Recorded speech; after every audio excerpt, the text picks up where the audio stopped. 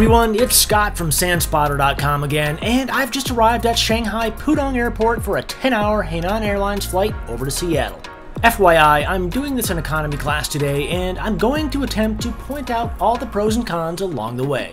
However, I say attempt with a twinge of sarcasm though, because telling you how good Hainan Airlines is will be easy. It's the cons which are going to be harder to pinpoint.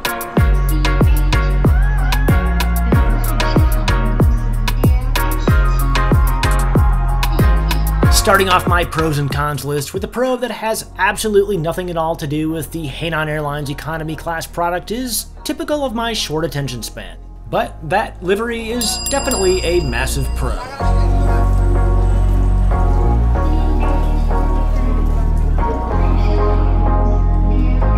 Another embarrassing example of my short attention span was getting distracted by this interesting looking restaurant as I was walking to the American Express Centurion Lounge. Yeah, I could have eaten for free in the lounge, but I'm a sucker for a steaming hot bowl of fried rice. Especially one that I can smell from five gates away. And now, the only problem is trying to figure out how to eat this without a fork.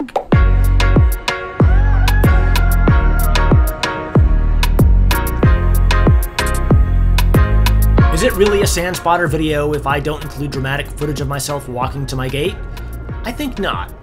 And yeah, the concerned look on her face is all the proof I need to know that maybe I go a little bit overboard sometimes.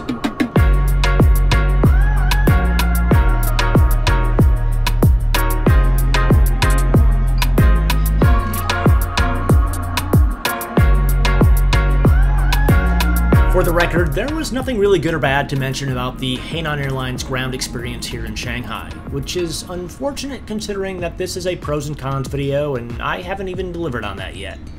However, I'm about to step on board and get a look at their economy class product for the very first time, and since there's nothing that can unleash a flood of emotions like a long haul economy class seat can, I have a feeling that things are about to get interesting.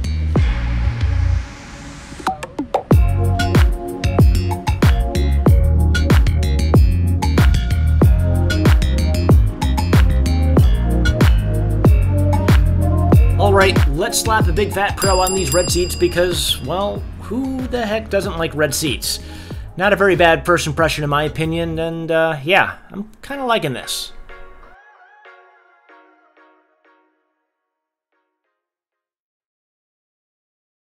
If it wasn't for the fact that my last flight was on a Sichuan Airlines A330 with an equally awesome blood red interior, I'd be far too excited about this.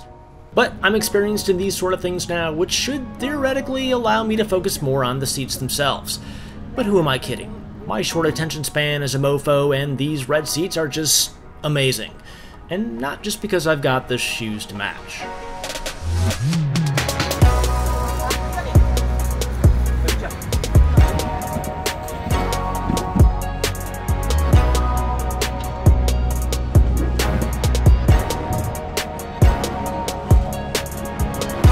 Not only is there an amenity kit for everyone back here in economy class, every single item inside of it is the exact same shade of red as the seats, and the carpet, and the blankets, and pretty much everything else inside this airplane.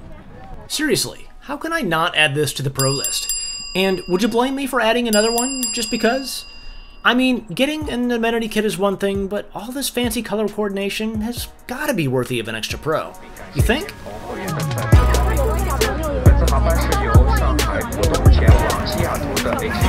七九五五次航班，预计空中飞行时间约为九小时五十分钟。Ladies and gentlemen, the boarding door is now closed, and excuse me while I bask in the joy of having an empty seat next to me. Yep, things were definitely moving in the right direction as I dug the seatbelt out from beneath my butt and worked on getting myself strapped in for departure. But then my short attention span struck again, and yeah.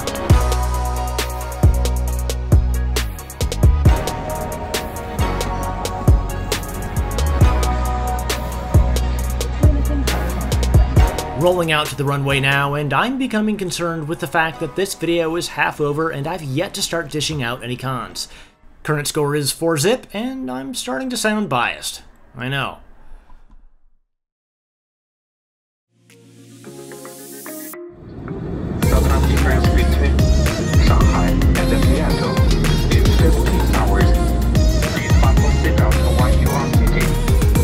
When eating in economy class was a bland and mysterious experience?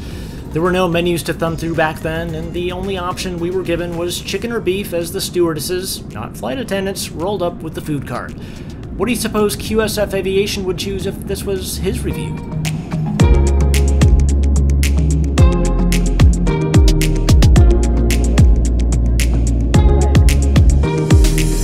This is it, the moment of truth. As soon as I can muster up enough coordination to peel back the tinfoil on my lunch, I'll be able to properly assess it worthy of being a pro or a con. Hmm, I don't know. Let's just give this a meh and be done with it.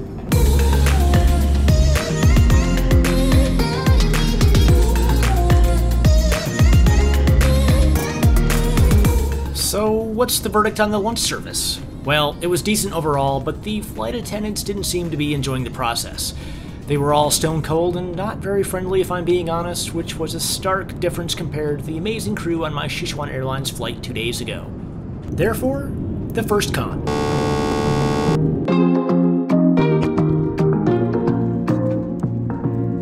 Have you any idea how difficult it is to make the loo review portions of these videos interesting? Getting footage of the nasty bits is off limits, of course, so I always find myself doing stupid things with a camera in hopes of stumbling on something brilliant. It always ends up being stupid, though, and, well, here's more footage of me washing my hands.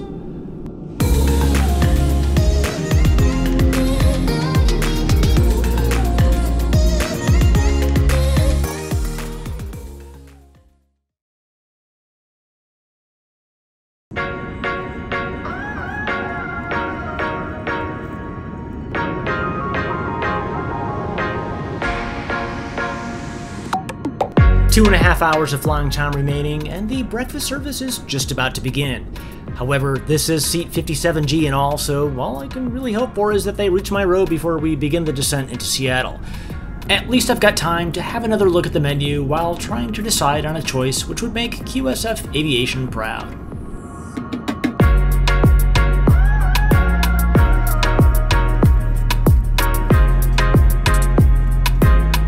As far as breakfast and long haul economy class goes, what do you think of this?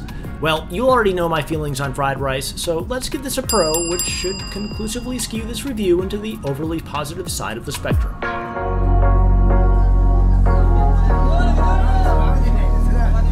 Oh, and just for the record, I paid for this experience myself, and my opinions are my own. And with a final score of 5 to 1 in favor of the pros, with one meh thrown in for good measure, my final opinion is that Hainan Airlines Economy Class is a darn good product.